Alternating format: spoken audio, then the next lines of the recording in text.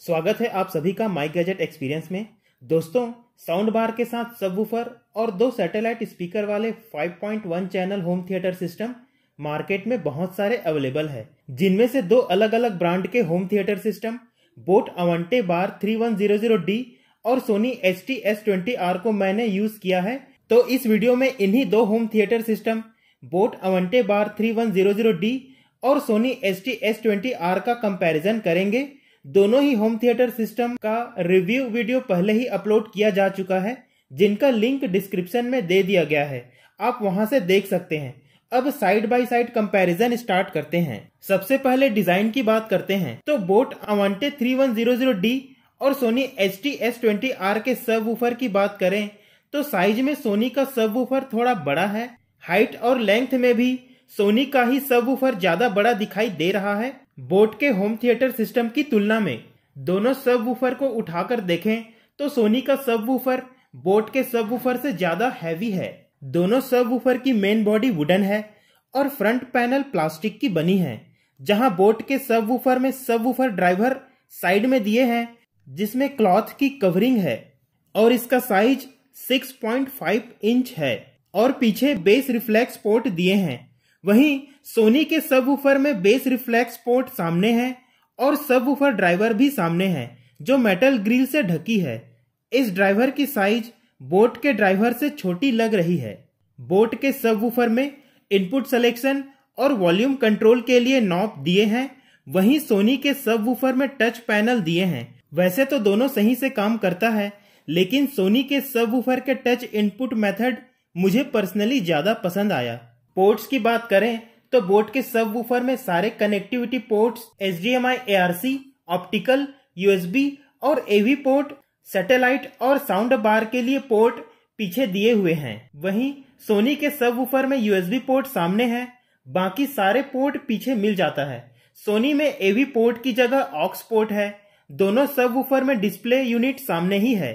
पीछे आप देख सकते हैं, बोट में यूज़ किए गए प्लाईवुड की थिकनेस कम है जबकि सोनी के सब वूफर के बॉडी का प्लाईवुड ज़्यादा मोटा है तो मज़बूत और वज़न भी ज़्यादा है। पीछे ही देखें तो बोट के सब वूफर को अच्छी फिनिशिंग दी गई है, जबकि सोनी में ऐसी फिनिशिंग नहीं मिलती। प्लाईवुड के किनारे बिल्कुल रफ और अनफिनिश्ड छोड़ दिए गए हैं।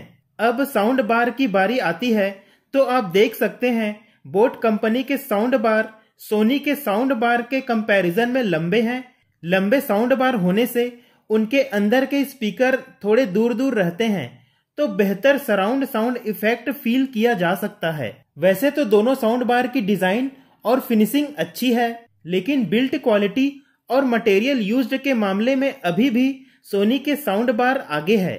सोनी के साउंड बार का वज़न भी ज़्यादा है, जो ज़्यादा प्रीमियम क्वालिटी का लगता है। दोनों ही साउंड बार के केबल 10 फीट तक लंबे हैं और इनके कनेक्टर्स थोड़े अलग हैं, जिसे अपने अपने सबसे कनेक्ट होने के लिए बनाया गया है। दोनों होम थिएटर के सैटेलाइट स्पीकर भी अच्छे हैं और वॉल माउंट के लिए सुटेबल है, जिसके लिए पोर्ट भी दिए हैं। केबल की लंबाई सोनी के सैटेलाइट स्पीकर की ज़्यादा है। सोनी के सैटेलाइट स्पीकर के केबल की लंबाई जहाँ 25 फीट तक है, वहीं बोट के सैटेलाइट स्पीकर की केबल की लंबाई 19 फीट तक है। रिमोट कंट्रोलर को भी देख लेते हैं।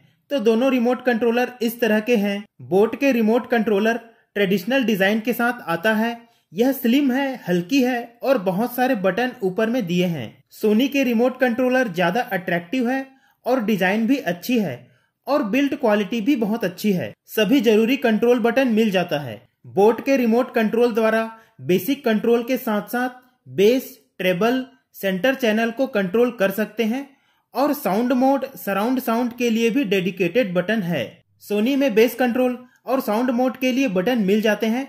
साथ ही यूएसबी मोड को यूज़ करने के लिए भी कुछ डेडिकेटेड बटन दिए गए हैं। तो फ्रेंड्स ओवरऑल डिज़ाइन और बिल्ट क्वालिटी में सोनी का S T S twenty R आगे है। मतलब ज़्यादा इम्प्रेसिव है। अब दोनों होम थिएटर सिस्टम के ज़रूरी स्पेसिफिकेशंस को भी देख लेते हैं। तो बोट का टोटल पावर आउटपुट 260 वाट है।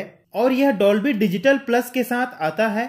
इसमें वायरलेस कनेक्टिविटी के रूप में ब्लूटूथ वर्जन 5 है। सोनी का टोटल पावर आउटपुट 400 वाट है और इसमें डॉल्बी डिजिटल है और ब्लूटूथ वर्जन 5 भी है। दोनों में H D M I A R C USB optical port common है। बोट में एवी पोर्ट है तो सोनी में उसकी जगह ऑक्स पोर्ट है। अब दोनों होम थिएटर सिस्टम को कनेक्ट करके सॉन्ग प्ले करते हैं। लेफ़्ट साइड में बोट अवंटे 3100D है और राइट साइड में Sony S T S twenty R. Same audio को दोनों होम थिएटर सिस्टम में बारी बारी से प्ले करते हैं।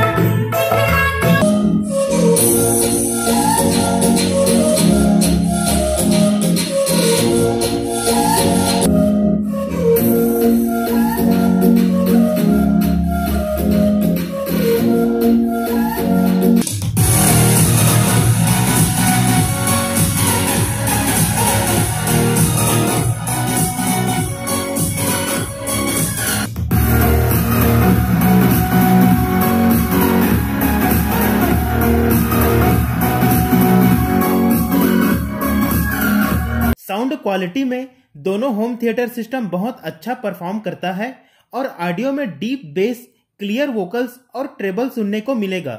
दोनों ही साउंड सिस्टम का साउंड दमदार है और दोनों का साउंड क्वालिटी बहुत इम्प्रेसिव है। भले ही बोट का टोटल पावर आउटपुट सोनी से कम है, फिर भी लाउडनेस और डीप बेस में अंतर नहीं दिखता। बोट का 260 वाट पावर आउटपुट सोनी के 400 वाट के पावर आउटपुट की बराबरी करता हुआ दिखता है। बेस दोनों की बहुत अच्छी है और बेस को कंट्रोल भी किया जा सकता है।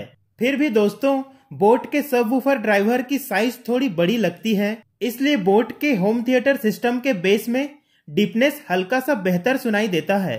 बोट के होम थिएटर सिस्टम में बेस के साथ साथ centre channel, treble, surround sound को भी कंट्रोल किया जा सकता है जो कि सोनी में नहीं मिलता, केवल डिफ़ॉल्ट सेटिंग मिलता है। दोनों ही होम थिएटर सिस्टम में कुछ साउंड मोड है, जिनके लिए डेडिकेटेड बटन भी है। बोट अवांटे 3100D में Dolby digital plus encoding technology दिया हुआ है। वहीं सोनी में डॉल्बी डिजिटल मिल जाता है। तो बोट में एनकोडिंग टेक्नोलॉजी एडवांस है, जो सराउंड साउंड एक्सपीरियंस को बेहतर बनाता है।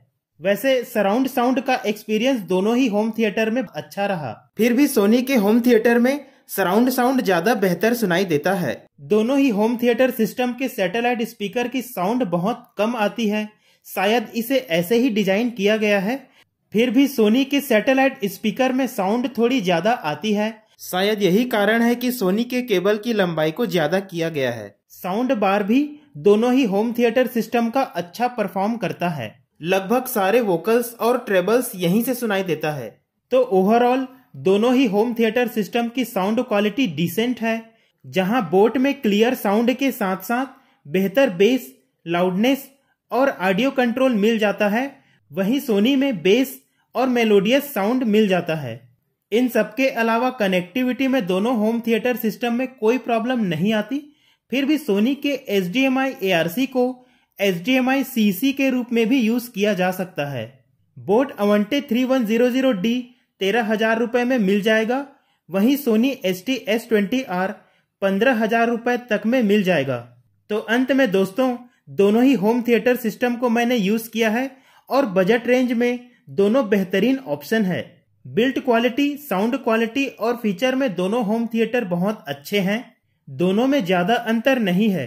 फिर भी मेरे एक्सपीरियंस से जहाँ बिल्ट क्वालिटी में सोनी का H T S twenty R आगे है और touch control H D M I C C जैसे एडवांस फीचर मिल जाते हैं, जबकि साउंड क्वालिटी में बोट का बेस थोड़ा बेहतर है। साथ ही बोट में बेस कंट्रोल के साथ साथ सराउंड साउंड ट्रेबल और सेंटर चैनल कंट्रोल भी मिल जाता है। तो इन दोनों होम थिएटर सिस्टम में से जो भी प्रेफरेंस का हो, उसे कंसिडर किया जा सकता है, क्योंकि दोनों ही होम थिएटर सिस्टम परफॉर्मेंस में बिल्कुल भी निराश नहीं करेगी। तो इस वीडियो में इतना ही।